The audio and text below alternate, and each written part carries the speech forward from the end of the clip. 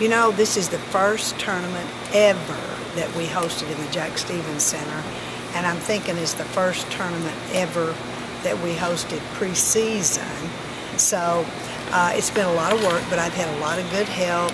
But to be able to get an SEC team to come in, Oklahoma, you know, the top two top hundred teams to come in to our arena and play, you know, that's big.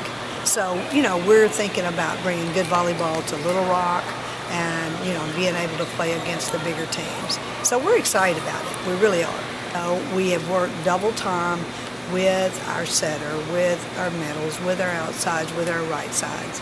Now, will that whole situation change in three or four days of practice that we have this week? The whole situation won't, but I think we will be a lot better than we were the last weekend.